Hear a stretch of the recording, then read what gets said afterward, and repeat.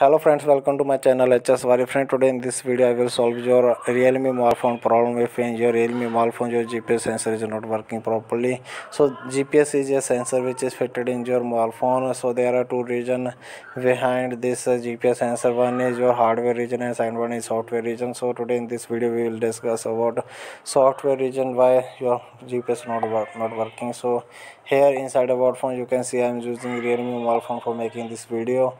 So basically you have to on off the sensor by clicking on the sensor off button.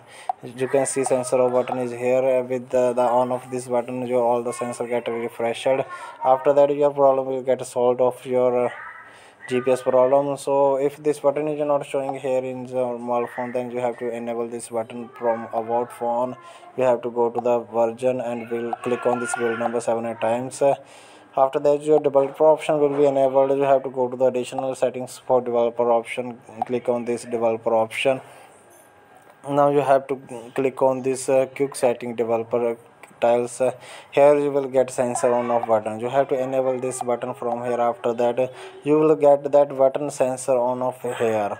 So by clicking on off uh, by enabling on off your sensor your sensor will get refreshed. So, so your might problem might be get solved. So hope friend this video is helpful for you. If this is helpful don't forget to subscribe my channel. Thanks for watching. Bye bye